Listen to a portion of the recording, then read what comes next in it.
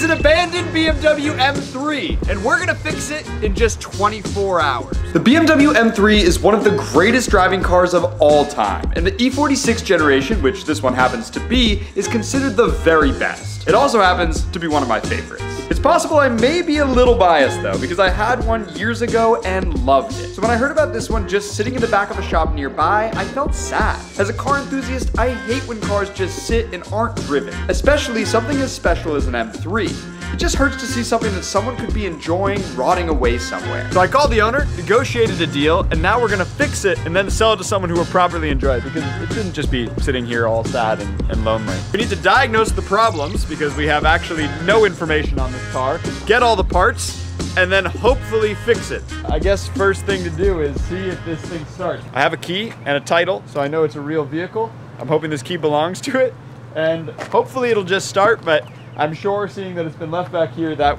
will not be the case. Nice. I noticed that a second ago. Oh. oh, it's gross in there a little. Oh yeah. Oh, there's some stuff. Yep. All right. That was to be expected. Literally Why is that lighting up? What is that? Is that a radar detector? hardwired Valentine 1 radar. To This thing was baller back in the day. Wait, where is that mounted to? I don't know. Dude, look at the shifter. That's not bad. That's got to be a short shifter. Yeah. There's a lot of worn down things. Like, look at this.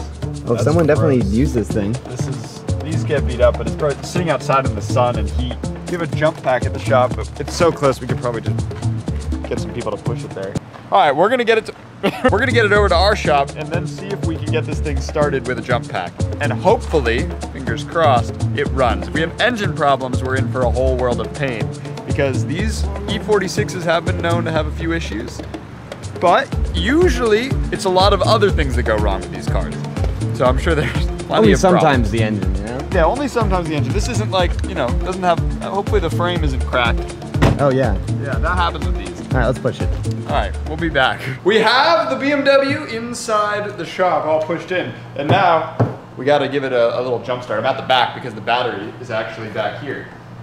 Okay, You need the battery to open that. that's a good point. It's not really a modern car, but it's new enough to have that problem. oh, there's some.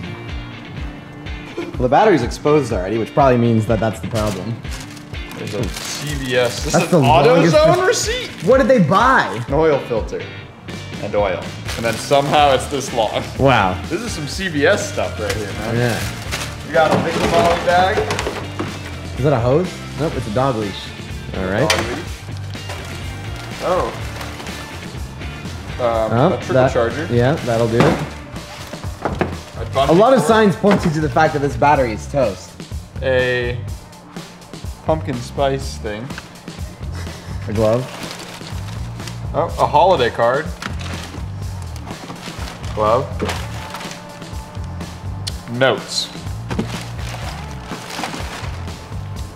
Sunglasses case with no sunglasses. Better give it a shot at least. I have a feeling it's not gonna turn on. I am an optimist. I'm praying on your downfall right now. yeah, that's messed up. It's actually our downfall. That's true. Noises are happening. Oh my god, the light came on. It's so hot, I am gonna start it with the door closed. I know that's bad. Well, if it starts. That's a good point. Hold on. Oh my god, she's beeping alive.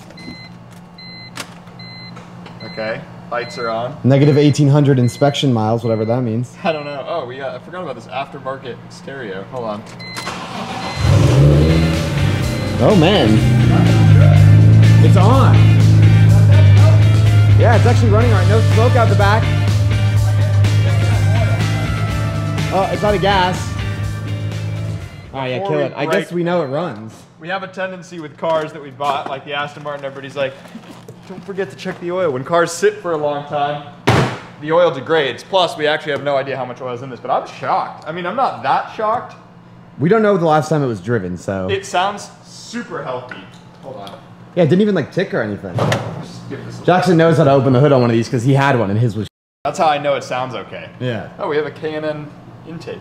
And some mouse remnants. Yeah. But the fact that it started means the mice haven't gotten to anything important. Let's check the oil. I'm gonna start it one more time and we're gonna just listen for any bad sounds because I'm not 100% convinced yet I, I almost think we should change the oil before we start it. Because these engines have such big problems. All right, well, that's fair. At least Yeah. we know. We'll change the oil before we do any more shenanigans so we all don't blow this up together and you don't get mad at me for it. Um, yeah, but that's a great sign. These cars notoriously spin rod bearings because they don't get oiled properly, so better be safe than sorry than to even run it on oil that might be really, really old. And yes, I know what you're thinking, by the way. Convertible, really?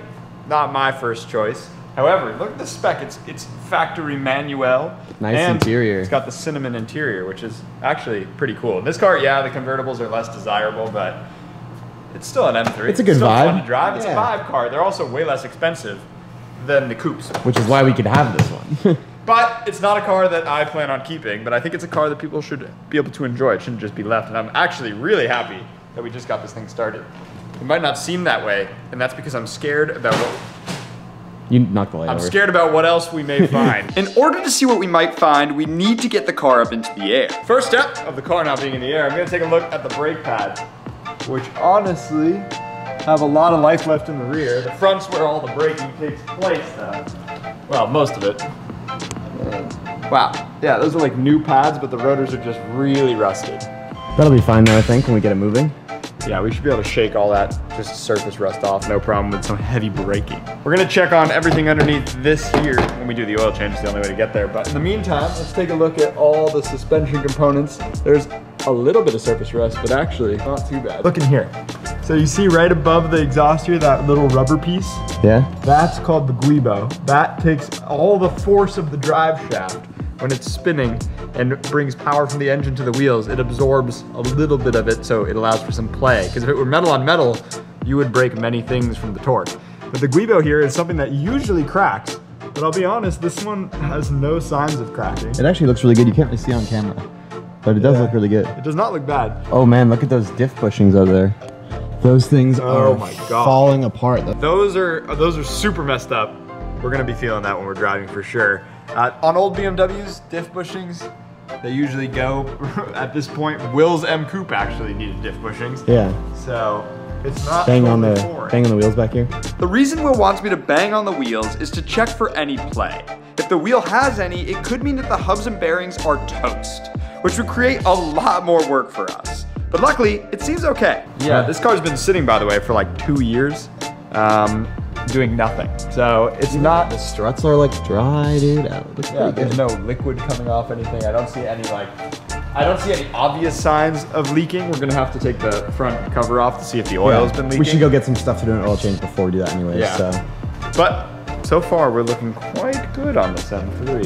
you're really glistening right now, man. I'm very sweaty. Nothing horrible has happened to this car. However, most of the catastrophic things would likely happen to the front engine portion of the car.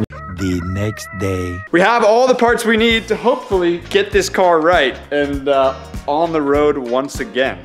And we're gonna start with all of the general maintenance stuff. We have a huge order from our friends at FCP Euro. We have all the parts you need for a European car, including a, kit for an E E46 M3 to change all of the uh, things that need to be changed, especially after the car's been sitting for two years. So we have filters, we have oil, we have uh, other fluids, we have spark plugs, uh, and we have mystery fluid that's in German.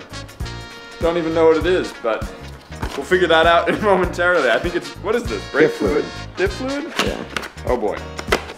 The time starts now. It is, well, it's a bad time to start. It's 11 in the morning. So, let's see how long this takes. I don't think there ever is a good time to start.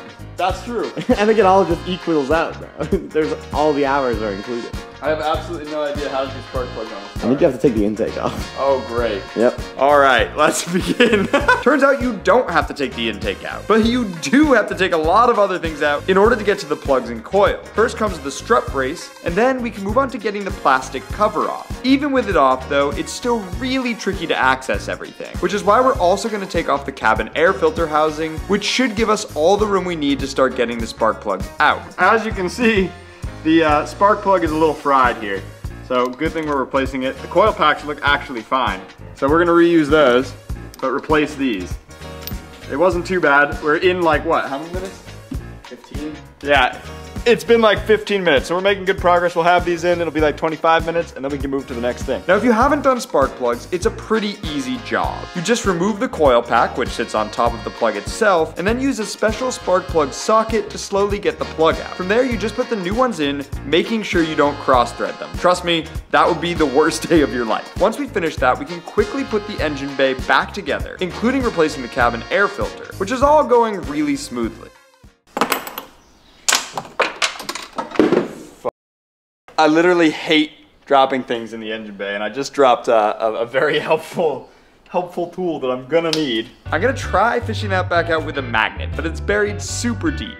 Uh, well, luckily I have another 13, but I'm gonna need to grab that when we do the oil change, because I cannot get it from up here. In order to get my socket back, I'm gonna throw the car in the lift and take the under tray off, but I'm hoping that it didn't get stuck anywhere. Otherwise, this could be an issue. No, more than that. Hey! The 13! All right, well, I did take this off really just to get my uh, 13 back. However, uh, it's probably good to take a look at all this stuff, and I think we got a little lucky. We never checked this when we were looking at the car ordering parts, but the steering rack is not leaking. It looks to be in decent shape. There's obviously some corrosion up here, but nothing important. The tie rods look fine, which tie is Tie rods nice. look good, and the belt is like brand new. So it looks brand new, and it doesn't look like, well, this one of the belts is a little older, but they both look fine. That's great. Now, we're gonna drain the oil, which I think is from right here. Well, the, uh, the, the thing is stripped. The drain bolt is stripped. Of course it's stripped. That's gonna eat a lot of our time. It's officially been uh, about an hour and a half. Sorry. So we're making decent progress, but this could hold us up. Will's trying to hammer in a bigger, uh, a bigger Torx to try to get it out. Going left. Yeah, I am. Dude, you're going to the right. Yeah. Okay. Yeah, yeah. That's why you stripped it. Okay, that's my fault. I'm really bad with my directions. you don't even know. This guy doesn't even know what left is, bro. Okay, that's my bad. this oil is gross. After letting all the old oil drain out, we can quickly put the new drain plug in. Now the logical next step would be to complete the oil change. But since I'm already under the car draining fluids, I'm gonna move over to the transmission, which is blocked by just a single under tread. Now time for a part that I dread, which is draining the transmission fluid. If you've never smelled transmission fluid before, good for you. It smells terrible. and this is a bad, bad thing to get in the nose. Since I hate the smell of transmission fluid and assume it's probably horrible to breathe, I'm just gonna undo the drain plug and run away. It smells bad. Really bad, I'm gonna move away while it's draining. Once fully drained, I can put a new drain plug in, tighten it to spec, and then detach the fill plug, which is on the side of the transmission. Something very interesting on E46s is that they say this. Lifetime oil, no oil change. That's on the transmission, and honestly, it's kind of not totally true. You want to change your transmission fluid. Um, you can theoretically never change your transmission fluid, uh, but that is not really the truth. Um, I think it was an attempt at, I guess, trying that. I, I don't really understand it, but uh, from all the research I've done online, you want to change your transmission fluid at a certain point. Maybe this transmission fluid lasts a long time, but it's not lasting forever. That's for sure. Uh, and this car has been driven quite a few miles, so it could use it. In order to fill the transmission fluid the fastest, I'm using a hand pump, which makes it honestly super easy. It's just starting to overflow, which means we have the right amount of fluid in. We'll let that drip for a second. I don't want to overfill it because once the transmission gets warm, you can kind of seep some fluid out of the side there. With that done, it's as easy as bolting back the fill plug and moving to the next step. I forgot to record, but I got the oil filter out. It wasn't hard, you didn't miss much. With the oil filter out, I'm gonna replace all the rubber gaskets. From there, I simply pop a new filter in, close the housing, and then can start filling the car up with fresh oil. Now this car takes some very obscure, very expensive BMW specific oil. So I'm trying to be really careful not to spill any, because I don't wanna have to buy any more. Now I can bolt the under trays back on and drop this thing on the ground where we can move on to the next step. We need to start picking up the pace though, because we've already spent three hours on the car and have lots to do. Now we need to move on to the interior of the car, which needs some help. And I thought to make it easier, we would lower the top so you can actually see what we're doing. And then it came to my mind that we've never tried lowering the top. And if the top's broken, we're in a lot of trouble because this is probably one of the most expensive moving parts of the car besides the engine. So we're gonna hope, I haven't heard about these tops having issues, but again, They all do, I feel like, know. so. So let's see. Where is the top button? Center console. Oh, well, that's something. It's slow. It's a little lackadaisical, you know? Whoa. Oh my, it's gonna eat it. Whoa. This is a complicated thing, dude. Oh, it sounds not great. It's not doesn't sound happy, but it's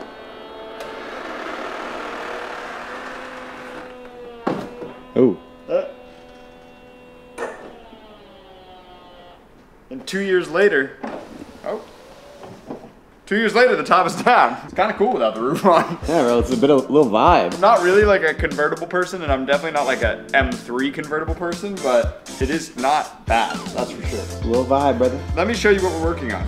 So now that we have the top down, do you see this? Uh, this interior has seen better days. This steering wheel is pretty toast. It's gooey. it's it's not only like the leather is so worn down that it's actually shiny, which is I really haven't seen that much. Shiny and like missing. Yeah, there's some parts that are like fading away. It feels terrible, and the stitching is starting to burst at the bottom, um, which is not great. To fix the steering wheel problem, we have Whoa! this steering wheel, Fancy guy. which is not only not terrible and falling apart, it's made of Alcantara with BMW M stitching, and it's a lot thicker. This feels is the best feeling steering wheel. I wish you could feel this right now. It's actually, it's mm. actually great. I love Alcantara. I know some people hate it because, you know, over time it does kind of wear down. But if you It's take cool good when it's care of nice, it- bro. Yeah, Alcantara feels so good. I wish everything was made of Alcantara. I wish my skin was made of Alcantara. There is little holes, as you can see. One here, one here, same on this steering wheel. And you put a screwdriver through it and you pull these springs and they allow for the airbag to pop out. But to be extra safe, by the way, when you're working with airbags, I may be not so good at working on cars, but what I do know is that you need to disconnect the battery. Even if this battery is a little low on juice, don't risk it. Will's had airbags go off on him. I also did it the other day in the M Coupe. Remember when I did the steering wheel? oh yeah. Yeah. Don't be Will. don't be me. Be smart. Will is gonna do this because I'm He got so afraid. And that's because it's pretty scary jamming a screwdriver into an airbag that could potentially deploy. But Will was able to get it done quickly. For the bomb defusal squad right there. That would be bad if we were that. yeah, do not trust us to Yeah. do that. Good? Yeah. Clear. With the scary part out of the way, we just need to unbolt the wheel and pop the new one on. But these bolts are really tricky. They're always torqued down super hard and usually quite thin, meaning they're easy to strip. But with some brute force and ignorance, Will got it done. Pure strength. Holy gee. I got it. That was scary. Speaking of brute force and ignorance, we have a merch drop. It's going on right now and will only be available for a few more days. We got everything from crankshaft branded tees to a collaboration with 996 Road Trip featuring both of our Porsches. And these ones are almost sold out. So go on the site right now and ensure you get one before they're gone.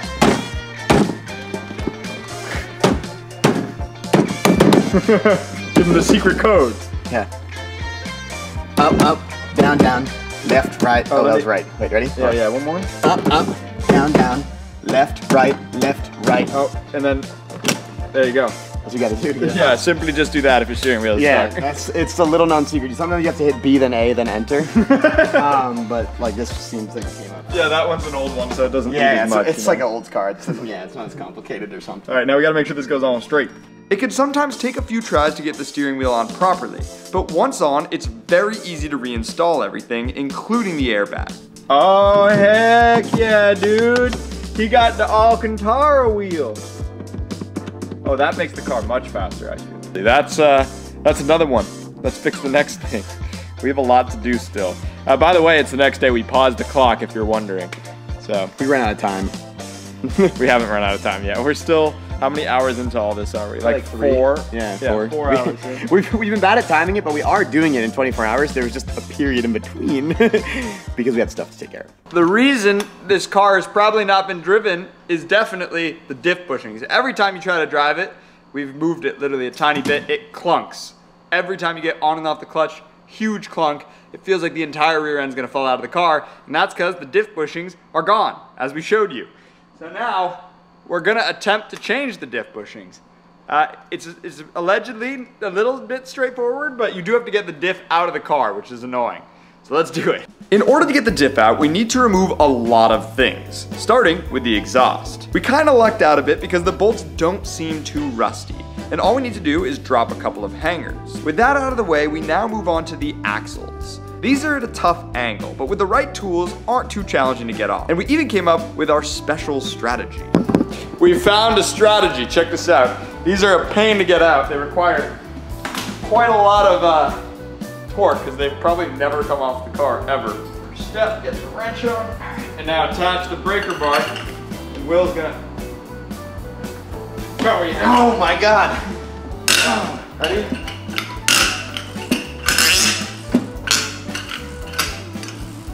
What y'all know about this? Get an axle off of M3, you just need a hanging setup. Oh, With the hanging setup, we can get these off pretty quick, which is good because we need all the time we can get. We're now able to move on to getting the drive shaft disconnected, which is a very similar process to the axles, but a bit more straightforward. From there, we can support the differential with a transmission jack to make sure it doesn't fall, and start on doing all the supports that hold it on. Turns out though that this can be slightly dangerous. Holy sh! My god, the diff moved a lot. I think it's out. I got I got hit in the head with the drive shaft. That's what I happened. hope that got it. That's what I have no idea what The just drive happened. shaft dropped just to nail me directly there. Does that have a view on this? Yeah. In order to ensure that the diff doesn't fall and also hit me in the head, uh, we're gonna lower the car, put a table jack up, take the last bolt out, and then it should fall onto the table jack, which will ensure that no one gets hurt and the diff that is really dense and weighs a lot doesn't uh, come crashing to the floor and break. So, let's do that. The diff is in there pretty good, so we have to keep adjusting it to try to get it to come free. I'm having to use a bunch of tools to try to push the diff over the rear subframe, but it turns out it's not so easy. However, after a lot of playing around with it, it finally decided to come out. Diff out! Oh my god, this thing is violent. Ah. With the diff finally on the floor, we can start to get the old bushings out. Now bushings are a pain and require some special tools. This one pushes on the center of the bushing while holding onto the other side to ensure we can get it to pop out. But even with the right tools, it takes a little bit of fiddling around to get it right. Once we have the old bushings out, including the metal ring that was being incredibly stubborn, we can start to install the new bushings. This is the easy part, to be honest. They just pop right in, and with a mallet, you can ensure that they are seated 100%. No wonder the car was clunking. This was one of the bushings. There, there is no bushing left on that. The last bushing is under the car, but once that out, we can put everything back together and move on to the next stage. Next, while we have the top still down, we're gonna detail the entire interior of the car. It's uh, been sitting and it has many random gross things in it, uh, and I think we can make it look a lot better. Me and Will actually used to both do car detailing, so fun fact. This is a part that we do know how to do. Somewhat, yeah. Yeah, somewhat. We're getting better at the working on cars part, but the detailing, we got. You're gonna So go crazy. Let's don some gloves and get the interior all good. With Will and I's detailing experience, this should be pretty easy. We just have to throw away all the trash, vacuum, and wipe off any surfaces that need attention. Will is going the extra mile by using some leather conditioner to bring the seats back to life. We're also, of course, gonna clean the floor mats by giving them a good wash and scrub, and also clean the rear convertible deck lid, which was super dusty. All right, well, the final step is to wash the entire car because honestly, this thing is disgusting. It hasn't been washed in years. And uh, before we sell it to anybody uh, who will properly enjoy it, we want to make sure that it actually looks okay for them. So we're going to wash not only the car, but also the engine We're gonna do more than wash it. I'm gonna give it a little polish. Oh, Will's even going to give it a little polish. He's like an old Corvette man at a show. He's got that 101 Corvette. He's polishing all day, keeping it nice and clean. I love This thing is absolutely disgusting, and it desperately needs a wash. So we're going to do that, and I think it's going to really actually change the way this car looks. I mean, we've done all the maintenance work. We've done preventative maintenance work. We've cleaned the interior. We've made the interior better, and now we actually need to make the exterior of the car look good. This is already a pretty good looking car, but it is uh, sadly not in great state. So let's do that. And this should be a great transformation. I'm excited to see it done. To start, we're gonna wash the engine bay. I doubt this has ever been cleaned because it's absolutely disgusting. But cleaning an engine bay is the easy part of the wash. We just need to spray a little cleaner in there, scrub it, spray it, and dry it. And with that out of the way, we can move to the hard task. deep cleaning this old car. We first start with the wheels, which take a ton of work because of how disgusting these ones are. From there, we do a regular wash with water, a foam cannon, and some sponges. Once done, we can move to the not so regular part of the wash. In order to really get this thing clean, we need to clay bar the whole car. This gets rid of all the little stubborn pieces of dirt and contaminants that are still stuck in the paint. Lots of people use actual clay, which works just fine, but we're using a synthetic clay bar with some detailing spray to get the job done. After that, we simply rinse it down, dry it, and move it inside for the next part. This is the cut and polish phase, which is very, very time consuming. But luckily for us, we still have a few hours left on our 24 hour clock, so hopefully we don't run into any problems. In order to save time, Will and I are both going over separate panels buffing machines, and the car is turning out absolutely amazing. The cutting compound gets rid of all the micro scratching in the paint, and the polish brings out an amazing finish which makes the car look brand new. I mean, look at how amazing the car looks now.